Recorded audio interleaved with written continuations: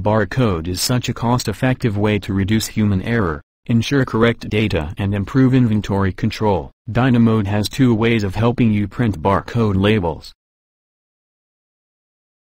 Carefully selected your preferred criteria to avoid wastage on printing. Tell DynaMod how many labels you wish to print. Let's try out three stocks in random to print labels.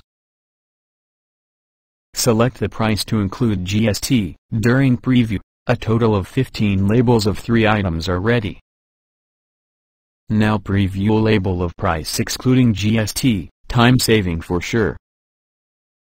Print barcode by document is another convenient way. Example if you have received 100 pieces of jelly from your supplier.